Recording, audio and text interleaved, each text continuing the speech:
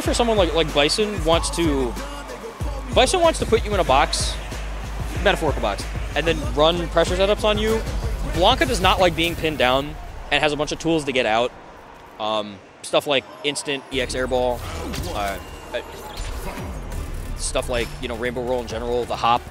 Um, so Blanka's pretty going to be pretty tricky to pin down, but if Bison does, Blanka does not have a real reversal outside of super. So should be pretty good. And we're already seeing one of Bison's best elements is uh, the ability for him to just obliterate your drive bar. Blocking all those heavy punches, blocking all those scissor kicks. Uh, I also know specifically, Henry said he likes going for uh, Hell's Reverse, which is that. Or Devil's Rise in the Hell's Reverse. Ah, the hop with the cross up. Did not see it coming.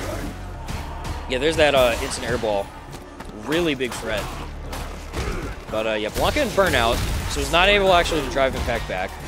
Uh, uh, big drop there, unfortunate. Uh, I think he might die here. Yeah, level one will take it. Yeah, unfortunate drop uh, by Henry there. I believe you have to, maybe you have to drive rush that, but yeah. Uh, and the Blanka is able to anti-air the Hell's Devil's Rise, same thing. Uh, big Blanka combo here. I that the overhead reset was crazy. All right, we got a little Blanka chance setup going on. Nah, the overhead, he's running that mix. And he's dead, level one. Perfect KO there from the Blanka player. Um, oh, Galaxy Brains Team Truly? No wonder he's so cracked. We love Team Truly. Simply the most handsome Street Fighter players in Columbus. Handsome and talented. Uh. Blanka able to have this like dash in, dash out kind of game plan with uh, being able to use Blanka Ball. Doesn't go for the lightning to activate the little Blanka there. I'm a little surprised. What a juggle! Oh my god. That anti is so cracked. Uh, and Bison just getting walked down. Not able to do his pressure. Does not react to that.